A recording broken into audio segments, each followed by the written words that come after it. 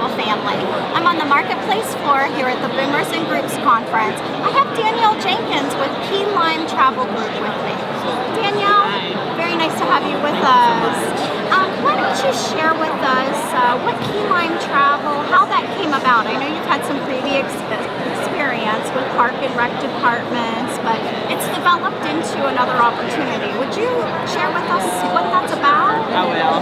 Um, I've been the manager of a senior center in Carrollton, Georgia for over the past 16 years. And travel is huge. I mean, there's so many seniors, boomers wanting to go and do everywhere. I mean, cruises and bus trips and you name it. And so basically, um, beginning of last year, um, we had a trip to Boston, a nine-day trip that filled up in less than 24 hours. Wow. And we always have waiting lists. We always have just so many people wanting to go. So what I did is I uh, mentioned to my boss, um, you know, the situation and also about um, the possibility of starting my own company on my own.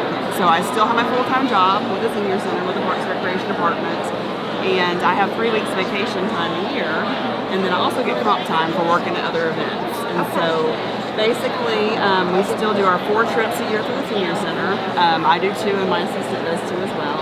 Okay.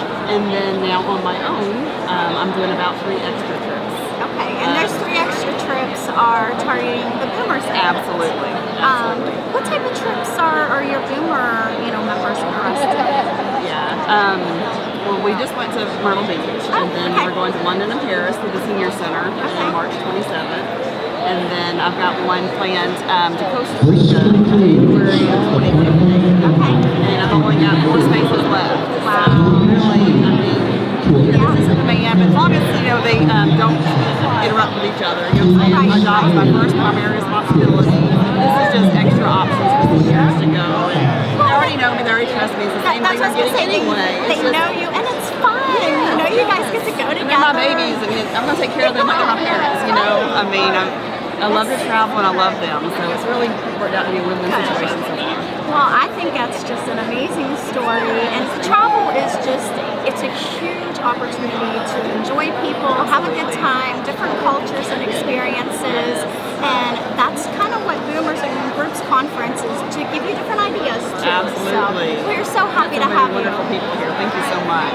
That is wonderful, Danielle. Thank you so much for being with us. You know, we look forward to years to come, and as you can see, you're active and on the road, so keep it going, Danielle. Thank you so Thank much. you. Bye bye.